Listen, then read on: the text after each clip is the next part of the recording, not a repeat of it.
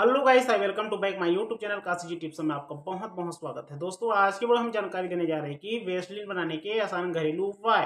Vaseline कैसे बनाया जाता है? दोस्तों, आप मोमबत्तियाँ ले लें मार्केट से। मोमबत्ती लेने के बाद आप कपूर ले लीजिए। कपूर को मोमबत्ती में कूट के डाल दीजिए और कूट के डालने के बाद उसको आसान से कढ़ाई में पकाइए। पकाने के बाद उसमें नारियल का तेल डाल दीजिए और नारियल का तेल में अच्छे से पका लीजिए। पकाने के बाद वह आसानी से पिघल जाएँगे पानी की तरह और पिघलने के बाद उसे ठंडा होने दीजिए। ठंडा होने के बाद आप उसे उपयोग कर सकते हैं।